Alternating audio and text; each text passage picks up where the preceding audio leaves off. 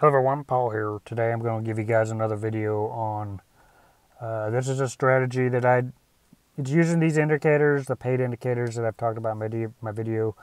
Uh, this is an easy way to find at least 1% a day just by day trading. And uh, I think you need, I think you need, need two of the indicators at most, uh, the, uh, the paid indicators that I've been talking about it's up to you guys if you want to go get them. Uh, I'll put the link below for the the guy's YouTube channel and uh, the links uh, links to get the indicators. In my opinion, they're well worth it because they help me. Well, they really help me find the the spot of where I can come in and and then the spot where I can sell. So let's just use Bitcoin as an example because that's kind of what I'm I'm doing right now. Right now, um, let me show you what my my my play is here, my trade. Uh, what I what I look for here, and you're going to need, you're going to need the buy versus seller indicator, at least, and also the price with money flow indicator. It'll help you see things more clearer. Uh, so what I personally did is I came in right about here I think it was here. I came in around here, and what I'm basically doing is, I well, actually, I think it, no, it wasn't here. It was, uh, it was down here where they buy sellers. So I waited for the dip.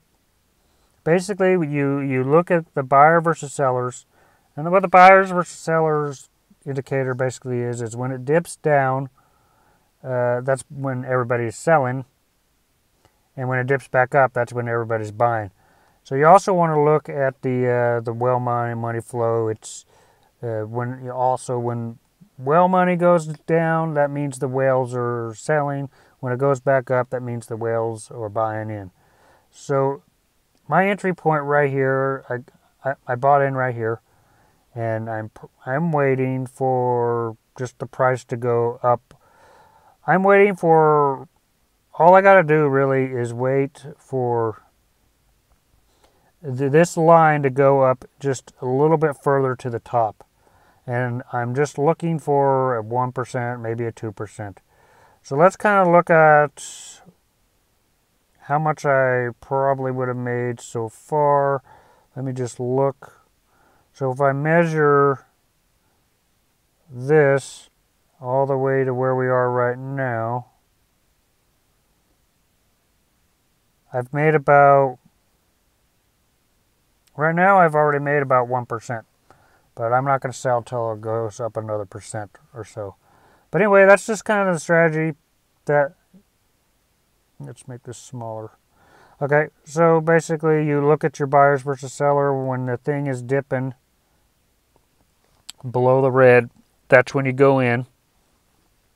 And then you just sell when when you see that line going anywhere anywhere above to where that that position is and you should get some kind of gains out of it. So you see that, that this is 1% since since I came in. Let's look at another situation. Now the first thing you want to look for is look at the buyers versus sellers and I'm just going to scan through here and see when that happens. This is a good point right here. It's not completely on the low, but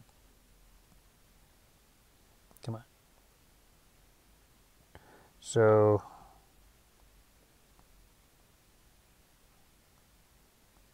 where did it go? Come on. There it goes. Okay, so this point right here, you'll know you'll get some gains because, well, it's it's not all the way at the bottom yet, but it's it's up to your own judgment. But let's just see how much this is right here, this little move. So from here, and then you just follow the buyers and sellers and that is a 4% right there. Four hours, you made 4%. So let's look at another example. So all your, and you also need to make sure that when you make that move, you want to look at your price for your, your money flow as well. And they both have to be dipping at the bottom there. Okay, so let's look at another example. We're just going to look for the buyers and sellers for to be as low as possible. Now here's another example right here. You see it tipping the bottom there.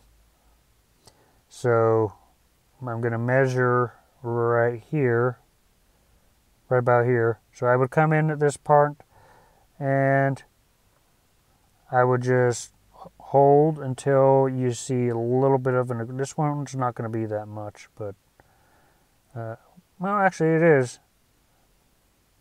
We're looking around 2% here. So let's look at another, another, one more example. Here's a good one right here. We look at the buyers and sellers. We see this, they're all the way down at the bottom here. The whale money flow is on the bottom as well, so that's a good sign. Uh, so I'm just going to measure this right here. If I got in right here, and then I just waited till the top, I would have made that there is a 6% increase in 16 hours. So this is a pretty, this is pretty accurate on, on getting your, it's how I find 1%, 2% a day. I just followed this strategy. But in order to do this, you would need these two indicators. They're both paid indicators, so it's up to you guys if you want to get them. Uh, link will be below if you guys want to get them. I'll talk more about these strategies in other videos. Uh, anyway, other than that, if you guys like these videos, make sure you hit the like button, hit the subscribe button. I'll see you guys in future videos.